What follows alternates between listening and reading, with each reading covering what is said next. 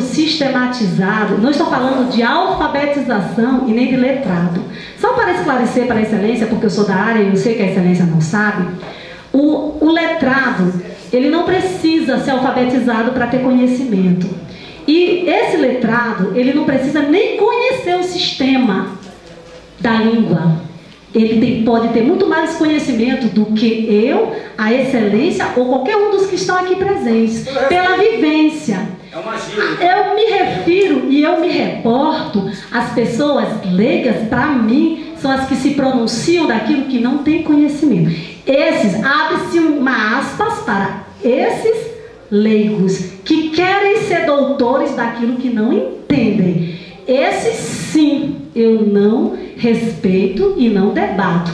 Agora, os demais leigos, incluindo meu pai na lista, os, os letrados, como meu pai, que é de uma sabedoria incrível e não teve o primário, mas teve a sensibilidade de colocar os fios para estudar e o que não estudou foi porque não quis. Esses têm meu respeito, minha admiração, mas eu, a excelência se sentiu, se sentiu atingida no campo pessoal, eu entendo. Inclusive, excelência, eu desculpo por estar tão magoado com a minha fala. Não quis magoá-lo diretamente. E ao mesmo tempo lhe peço desculpa se assim o fiz. Vossa Excelência, por questão de ordem, o que Gente. eu estou achando é que a senhora está voltando o lado pessoal com a minha pessoa. Porque você se direcionou só a minha pessoa. É como se você Gente, então eu peço a excelência Lucivaldo Barros. como parlamentar. Você está faltando eu... com ética comigo, porque está direcionando a sua Eu peço a excelência você gosta de mídia, mas tem que ser com respeito, porque eu sou uma autoridade constituída por Deus e pelo povo. Vossa Excelência está faltando, porque essa se direciona só a minha pessoa. Eu peço mais uma vez que a excelência Lucivaldo me respeite. Solicite.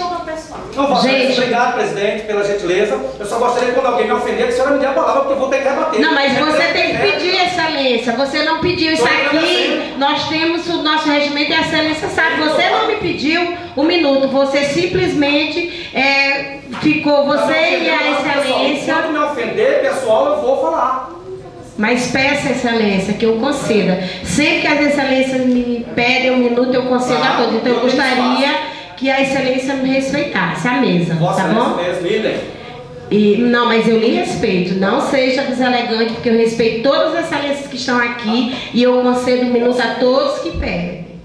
Então, mais uma vez, eu gostaria de de agradecer as pessoas que estão aqui. Vou fazer meu pronunciamento aqui. Nós já estamos há quase duas horas da tarde. Em respeito às pessoas que estão na galeria até esse momento para nos ouvir, participar dessa sessão hoje que é de abertura do nosso trabalho. Eu gostaria aqui de agradecer a todos vocês. Não vou mais me aprofundar no que já foi discutido em relação à questão da saúde aqui, porque todos os vereadores excelentes que me antecederam falaram muito bem. Gostaria de agradecer prontamente à Secretaria de Saúde por vir aqui esclarecer para nós enquanto vereadores, a equipe do Estado, que eu gostaria, assim, nome de seu domingo, assim, Agradecer a todos que compareceram, assim, a sua função de servidor público. Isso nos orgulha muito, viu, seu domingo? Porque nem todo mundo que é servidor público entende qual é a função de servidor público.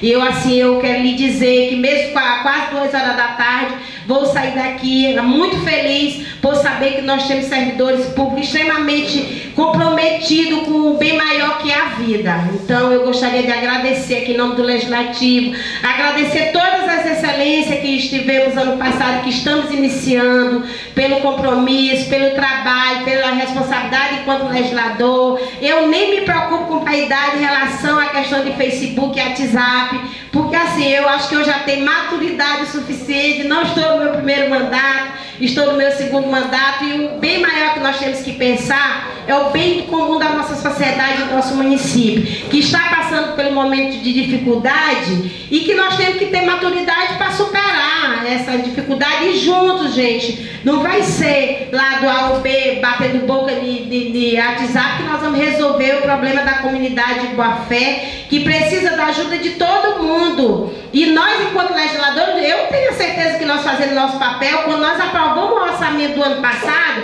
nós aprovamos para assistência social, que é responsável do benefícios eventuais, recurso para benefícios eventuais, que é de responsabilidade para a cesta básica, que seja garantida a cesta básica lá de boa fé. Eu não me sinto em momento algum ofendido é, por discurso de A ou B em rede social, em canto de rua, porque nós aprovamos o orçamento para a saúde, nós aprovamos o orçamento para a educação, agora cabe a cada um de nós, enquanto legisladores, fiscalizar para saber se de fato está tá chegando lá onde as pessoas que, que precisam, né? É responsabilidade nós, hoje, irmos aqui atrás do secretário de infraestrutura para que garanta a ida da, da, das equipes de saúde, mas bem maior do que a equipe de saúde que precisa ir lá, mas da comunidade que vai ficar lá todos os dias e que vai precisar do atendimento da saúde durante muito tempo, que nós não sabemos nem quantos anos essa comunidade vai precisar. Eu acho que é isso que nós vamos fazer com que o nosso município ele melhore, que a comunidade, não só a comunidade de Boa Fé, mas que a todas as comunidades do nosso município, ela precisa sim. Nosso município é um município extremamente grande, extremamente complexo, a questão da, da das estradas. Aqui nós moramos na Baixada, nós sabemos que no período chuvoso alaga tudo. E a nossa realidade, porque quem conhece a nossa realidade, nós sabemos todas as situações do nosso município. Então, em relação a isso, eu tenho muita segurança e firmeza e dizer que nós precisamos de pensar. Eu não penso hoje porque nós ainda estamos longe de campanha. Eu acho que esse momento é o momento da gente centrar força, de unir, de dizer para a Daniela que nós estamos aqui enquanto legisladores e o que precisar, que eu também sei das limitações dela, quem é secretário, querendo ou não, ele é o carro comissionado, tem, é, a maioria das vezes a pessoa não tem o poder de decisão e dizer que nós estamos aqui para fazer com que aconteçam as coisas de fato e de direito. Cobrar de Raimundo Antônio, eu não tenho. É, Cobro sempre. Agora eu vou estar dizendo em rede social o que eu cobro para ele. Eu mando ofício, que é a minha responsabilidade, de ir lá protocolar, cobrando a resposta em relação ao seletivo, em relação aos problemas que tem no município, o protocolo, porque eu tenho que comprovar. Então a função do legislador eu sei que eu estou fazendo e não me preocupo. Digo para vocês que eu não me preocupo. Eu me preocupo sim hoje com a situação que essas famílias estão, que elas precisam ter alimentação de qualidade e acompanhamento de, da saúde com, com qualidade com responsabilidade. Então, no mais, eu gostaria de agradecer aos educadores que estão aqui, aos trabalhadores rurais que estão aqui, ao Conceito Telar e aos profissionais da saúde.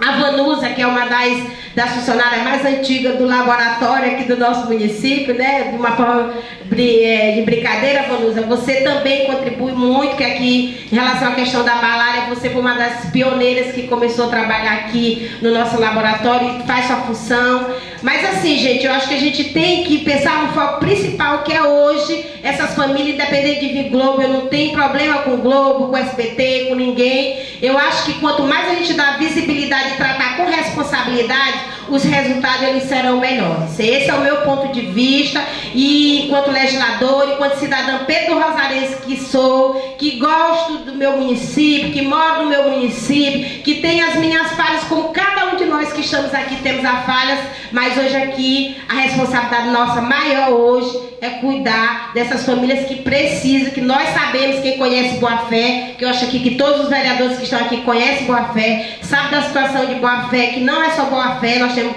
vários povoados que precisam de, é, de atenção, mas hoje nosso foco é essa comunidade. Então eu gostaria de agradecer a Deus, dizer aos meus nobres co colegas que não sou melhor, eu acho que os vereadores eles vão ser fortes, o legislativo forte, é todo mundo unido, independente de eu querer ser melhor do que Júnior de Tiago, ou de que Raposinha, ou de que Inês. Eu acho que o nosso trabalho, a nossa função enquanto legislador é trabalhar de um modo geral é fazer a nossa parte, que nós sabemos, eu tenho certeza que cada um das excelências que estão aqui sabe qual é a nossa função. Quando as pessoas eh, falam que os vereadores não fazem nada e são ladrões, é porque eles, na verdade, não conhecem qual é a nossa função de, de legislador. E eu não me preocupo quando me chamam de ladrão e dizem que eu não estou fazendo meu trabalho, se eu sei que eu estou fazendo meu trabalho. E no mais, eu gostaria de agradecer a Deus e por, por estar viva, né, por estar de pé, por poder é, falar, caminhar, que tem tanta gente que não pode falar, que não pode caminhar, ter o dia, ter a noite, e eu sou muito grata por Deus por estar nesse momento aqui com todos vocês.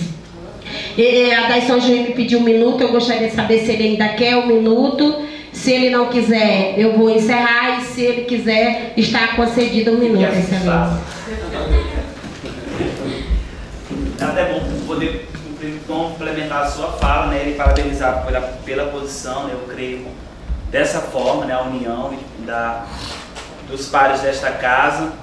É, referente a, a, a, essa situação, a Leila falava, Sivaldo também, é, eu lembro quando cheguei aqui em 2009, tudo aquilo que era falha da gestão atual e a, se remetia ao governo de Arailton, né, que era quem tinha passado. Quando passou o governo de Arnaud, já com Dirlan, também nesta casa e também eram quase que geral os aliados do, do nosso, nosso grupo político, sempre se remeter à gestão passada para falar sobre os erros da gestão atual. E o que isso nos levou? Nos levou a gestões que não deram certo, né? tiveram muitos erros. Eu concordo que a identidade de um povo ela é construída com o passado, mas assim, nas falhas no atual governo, ela deve ser é, enfrentadas e não sempre ser levado como referência à gestão anterior. Porque a gestão anterior saiu porque não conseguiu é, resolver essas falhas. Né? E eu creio que o nosso pensamento ele tem que ser e sempre é, instruir Raimundo Antônio a não repetir os erros do governo de Adailton, a não repetir os erros do governo de Arnaud, a não repetir os erros do governo de Irlã. Porque se fosse para repetir os erros, a população tinha é, sufragado quase 10 mil votos no prefeito Raimundo Antônio. Nós temos que aconselhá-lo cada vez mais, tanto aqueles que são mais próximos, quanto aqueles que estão se aproximando agora, que é o meu caso, que está tendo uma aproximação até melhor do que no ano passado, a fazer diferente. O povo aspira a uma gestão diferente. E se for para fazer igual, não se prega a mudança. Né? Assim que eu.